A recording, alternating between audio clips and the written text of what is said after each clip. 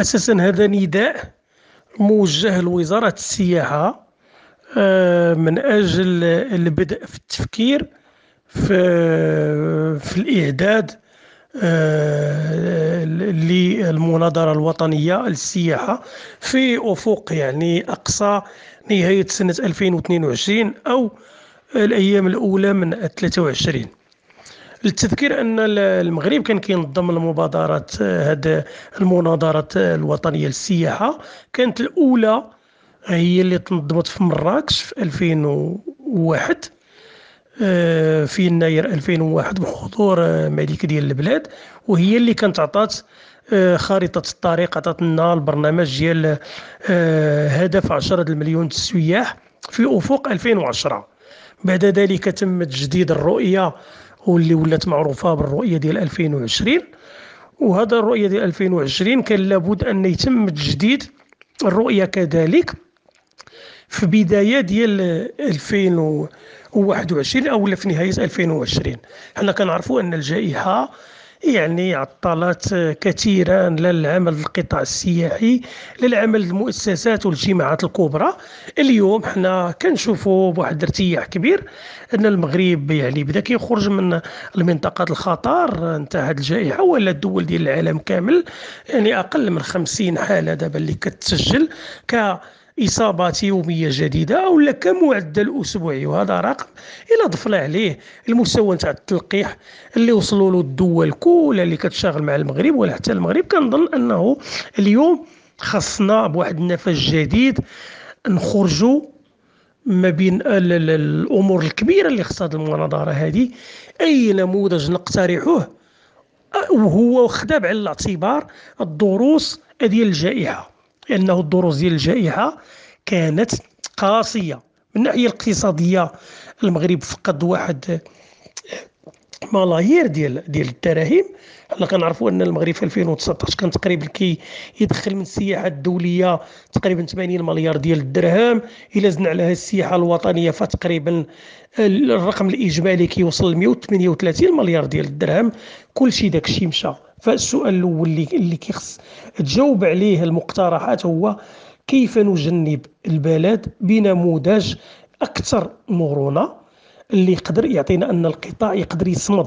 حنا كنعرفوا بأن في 2020 كان تراجع تقريبا تاع 80% في الحجم ديال ديال الوافدين وفي الليالي السياحة وكان تراجع ديال 56% نتاع المداخيل ديال العملة الصعبة من تقريبا 78 مليار ديال الدرهم. دزنا لحوالي 34 آه، ولا 36 مليار ديال الدرهم. في 2021 يعني اللي كانت عرفت آه، تقريبا مجموعة تاع المبادرات منها عملية مرحبا ارتفع عدد الوافدين ولكن الميزانيات انخفضت المداخيل ديال ديال القطاع السياحي من العملة الصعبة. فهذا تساؤل كبير. كيف أن القطاع ديالنا ما قدرش يستارد يعني دينا السياحة السياح ولكن خسرنا الآخر. السؤال وهو الجانب الاجتماعي. شعار الدولة الاجتماعية كيطلب أنه يكون عندنا آه، قطاع اقتصادي اللي يقدر يصمد آه، في هذه الهزات. حنا كنعرفوا آه، تميزت بينت لنا بأن الهشاشه كاينة في القطاع.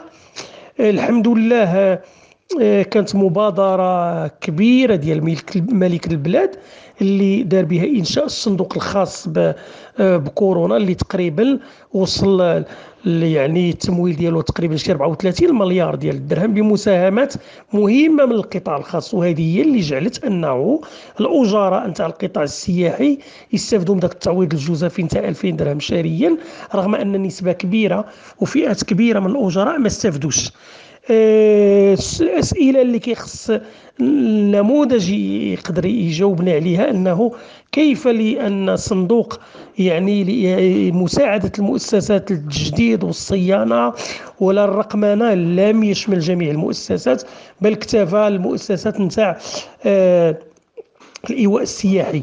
فبقات وكالة الاصفار خارج اللعبة المطاعم بقات خارج اللعبه النقل السياحي خارج اللعبة وكاله كراء السيارات خارج اللعبة مؤسسات نتاع التنشيط السياحي اللي كتنظم تظاهرات هي بقات خارج اللعبة.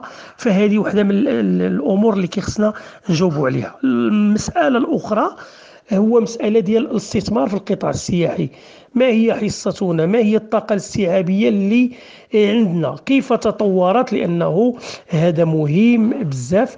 وكيخصنا نشوفوا أن المؤسسات الدول المنافسة أنه عندها طاقة استيعابية كبرى. وهذا الشيء اللي كيسهل عليها العمليات مع وكالات ديال الطيران مع شركات نتاع الطيران اللي كيبرمجوا رحلات كبيرة. أحد المواضيع الهامة كذلك واللي أكثر أهمية كنظن وهو كيف سنتعامل مع السياحة الداخلية. الأزمات بيّنت أنه كل مرة كتكون عندنا أزمة فكنوليو نرجعوا نطالبوا أن المواطنين أنهم نشجعوهم يجيو ولكن العرض العرض الفندقي العرض ديال مؤسسات الإيواء لا يتماشى مع متطلبات ومع مداخل وميزانية السائح المغربي. هذا محور أساسي اللي غادي يردنا العدد المحطات اللي كانت مبرمجة اللي تقريبا 8 ولا 9 ديال المحطات اللي كانت لابد تنجز وما تنجزت منها غير جوج أو ثلاثة هي اللي خدامة. وهذا اللي كيجعل أنه في كل موسم صيف كان مجموعة نتاع المناطق الشاطئية كتعرف واحد الاكتظاظ كبير. وهذا هو اللي كيجعل أنه آه، فئات كبرى ما كتقدرش تسافر. فئات للأسف كنصيبوها كتمشي إما لواحد المؤسسات آه، كاين اللي ماشي مؤسسات اللي تقضي فيها العطلة الصيفيه آه، آه، مؤسسات كاين منهم اللي يعني كانوا كيختاروا ربما كيمشيو يقضيو العطل ديالهم في حجرات نتاع الدراسة. فأنا كنظن بأنه ما بين المحاور الأساسية نتاع السياحة الداخلية اللي كانت دائما كتكون هي البارشوك اللي كتواجه الأزمة اللي كتخلي المؤسسات ولكن يجب التعامل معها ك مكون أساسي بتصور بنية تحتية بدعم كما كيوقع في مجموعة تاع الدول. هذه واحدة من من المسائل. الملف الرقمنه كنظن بأنه هو اللي مهم كذلك وأكثر لأن اليوم تقريبا 80% نتاع الحجوزات كدوز عبر البوابات عبر يعني المؤسسات اللي كتقترح أنه التسويق الرقمي. فما هي المكانه نتاع المغرب؟ وهذا ملف من الملفات الكبرى نتاع الرقمنة إلى جانب الملف ديال التكوين. ولكن كنظن أنه آه، بدون رقمنة القطاع ربما يقدر يتعرض لواحد الأزمات أكبر وغادي تستفد دول أخرى. لأن كنعرفوا كاينة دول اللي في 2021 استرجعت النشاط ديالها السياحي وتقريبا كانت دارت ضعف ديال المداخيل ديال 2020 حنا المداخيل ديال 2020 رغم انها كانت ضعيفة في 2021 ولات أقل منها.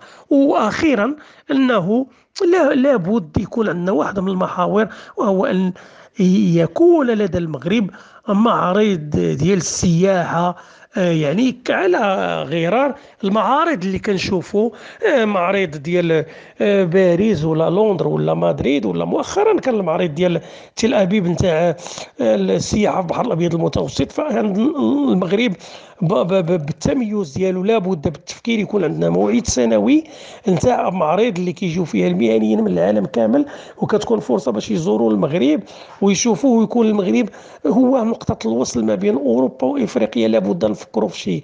أنا كنظن هادو أمور اللي أساسية والاشتغال المناظره كيطلب على الأقل واحد ست شهور ولا ثمان شهور.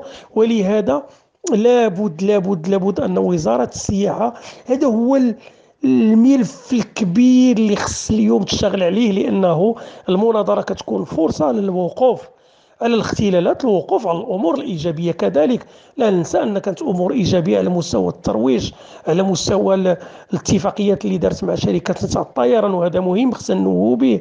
على مستوى الحضور تاع المغرب من خلال مثلا هذا آه، برنامج ديال آه، المغرب آه، أرض الأنوار. هادو أمور اللي كيخصنا نوهو بها. ولكن بالمقابل أنا كنظن إعادة تاع الانطلاقة الحقيقية خصها لابد تكون وهذا خصو يكون فيه الوزارة والمهنيين الكونفدرالية الوطنية للسياحة الفيدراليات ديال السياحة المجالس الجهوية للسياحة المجالس الإقليمية الباحثين الخبراء المؤسسات نتاع التمويل. هذا هو تقريبا المطلب الأساسي.